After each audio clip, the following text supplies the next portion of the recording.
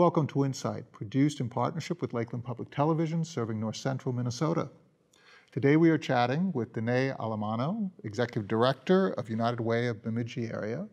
Denae has generously agreed to share some of her experience with us. I'd like to thank you, Denae, for joining us today. Thank you for having me. United Way as a national organization with regional offices is such a fascinating organization. Talk about United Way here in Bemidji, here in north central Minnesota? Sure. Well, I think uh, the unique part about United Way is that it's its own, you know, every United Way is its own 501c3. So we get to be whatever our community needs us to be. And here in Bemidji, 99% uh, of funds raised here stay locally, right here in Bemidji. And our mission is to mobilize the caring power of the community through, uh, through giving. And um, I think that there's many different ways that we're able to do that. Um, we benefit both the business and the or the giver, the business and the giver, and also the uh, agency. In that, for a business, they can give to one place and they're giving to everyone, and are are sure that where those funds are allocated is um, where they need to be in our community. And then for the agency, you hope that by providing funding, they're they're getting to spend more time on their programming and less time on fundraising. And this is so much the strength of United Way, particularly in rural America, in that it is the strength of the community that is dedicated to strengthening the community itself. Mm-hmm. Talk about how you function as an intermediary to assure people who give that their money is going to be used wisely and to help the people who receive the funds provide their services in a way that, again, connect not only to their constituents, but also draw the giver into their constituency base. Every spring, our investment cabinet comes together, and uh, there's 16 people on the investment cabinet, and they spend six weeks allocating funds um, with about 30 hours of volunteer um, volunteer hours in that six-week time period. So. Um, to go through the process, uh, those 16 people are broken down into teams of eight, and each receive uh, about four applications that those are their uh, responsibility to know in depth, to know the finances uh, in depth, to read through their application. They set up interviews to go on site. And these are the organizations that prospectively will, receive funds? Yeah, yes, non, and they have to be a 501c3 nonprofit here in, in the Bemidji area. Um, and we cover it within the school district. You have people who are functioning as investment um, advisors um, and decision makers. Mm-hmm. So they are coming in as people who are looking at a portfolio of activities and deciding which of those portfolio of activities will have the biggest bang for the buck, mm-hmm. which balances the kinds of investments that United Way makes, mm-hmm. and which investments will will uh, provide the greatest uh, impact mm-hmm. on the community. Mm-hmm. Uh, talk about how that actual that process works. Does does everybody um, undertake their analysis in an idiosyncratic way, or do you have certain standards by which you measure, by, by which you you guide people in making those decisions? well, the the process once they once the investment cabinet is given their assigned uh, agencies, they go out on an on-site interview to ask uh, to talk to both the director and a board member um, and see the facility themselves. Come back and spend five hours, uh, literally five hours, discussing how everyone's interview went. Um, and it's about, on an average, it's about 30 applications that we receive um, every year. And and then after that, uh, we ask any new agencies or any agencies we still have questions for to come back for a full cabinet interview. Uh, after those interviews are done, each individual uh, cabinet member sends me their recommendations.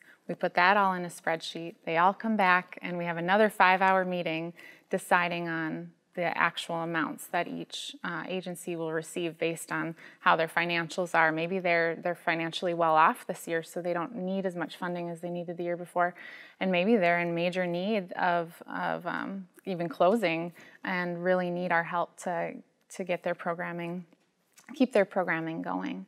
Uh, and then that is then presented to our board of directors, and they approve or or have the cabinet come back together and uh, look at the financials one more time.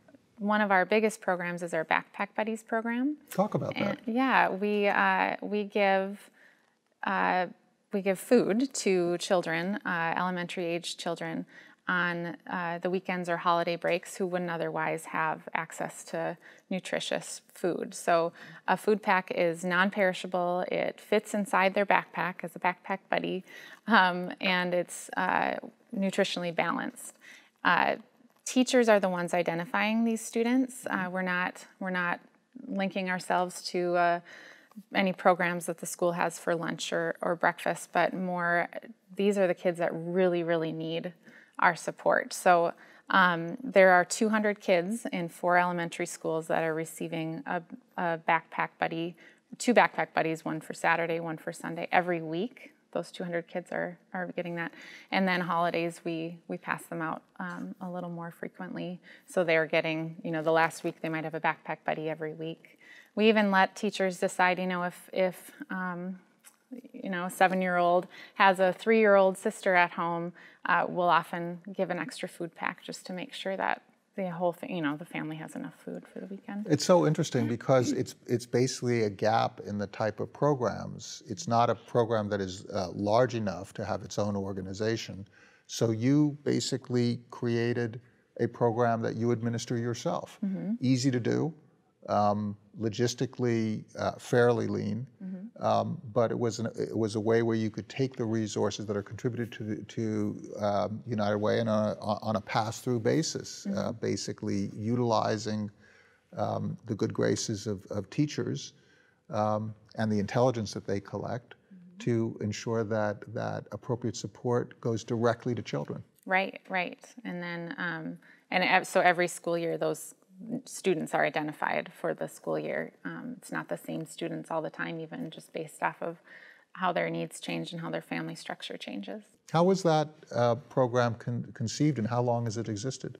I think it's been around for six or seven years, and uh, it has always had about 200 children, um, as far as I can tell, uh, that are in need in the program. Any other programs that you self-administer? Yeah, we have holiday gifts for kids, and we're giving between six and 700 children a, a gift for for um, the Christmas time of year. Uh, we have a distribution day where um, we all the gifts and all the funds we raised to uh, buy gifts are are out, and um, parents sign up beforehand to come and shop for their child or children uh, on that day. And it's really just an amazing day because you get to we all, we have a volunteer walking with each uh, each parent that's or guardian that's coming through, and um, we pull out our bigger gifts like throughout the day. So you know, if you, you don't have to be there right at opening to get the best gifts. It's it's throughout the day, and um, I I had a lot of different duties my first time doing this uh, just this last year, but uh, there was one lady I was walking through, and her um, her husband had just left her. She is a stay-at-home mom. She she her pride was shot having to come to this, and we're walking through, and out comes a bike, and she got to she got to take the bike home, and was just beside herself, and it was just such a neat experience to watch. You know, just watch the impact that that program is making on um, people here. Another program we we have is our Volunteer Bemidji website. So we offer to the to any uh, organization, it could be Rotary or one of our agencies, for example, um, can have a spot on our site where they can ask volunteers to you know volunteers come and look at the site every day and they can sign up for different uh, events one day events that uh, that need volunteers for on that day. So that site's called volunteerbemidji.org and it has um, really served a need in our community. Uh, another program is our Someone Special program, where our, our different nonprofit agencies are welcome to uh, nominate volunteers that they have in the community that they want to recognize, and um, they're on uh, in the newspaper, on the radio, and then receive a really nice plaque from Ken K. Thompson here in town, just to to say thank you for all their great work. is United Way and the way United Way looks at these investments, is this also a matter of economic development in the area where you're priming the pump? You're, you're helping people who need help, and then that actually enables the growth of, of the area. That's definitely the hope. I think, um, you know, with our focus and listening to our cabinet talk about different agencies, and it always came back to, but we have to meet those basic needs for people to thrive and be able to hold a job or uh, learn when they're in school or whatever it might be. We have to. If be you can to eat, you can needs. learn, mm-hmm. right? If mm-hmm. you if you are not in pain because you do receive health care, you mm-hmm. can contribute. If you're not on drugs, you can work. Exactly. Exactly. And if you are educated, you can get a job and you can start to create and, and see how you can help others as you progress through your life. Right, right.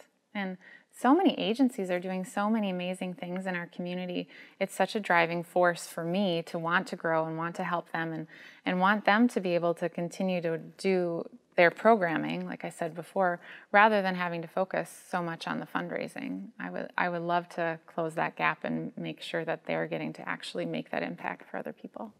Denae Alamano, thank you so much for sharing the experience of United Way of Bemidji area. And thank you so much for your insights.